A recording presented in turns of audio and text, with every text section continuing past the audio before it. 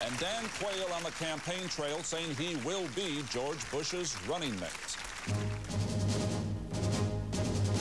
This is NBC Nightly News, reported by Garrick Utley. Good evening. We can all breathe a little bit easier this evening. There will be no war with Iraq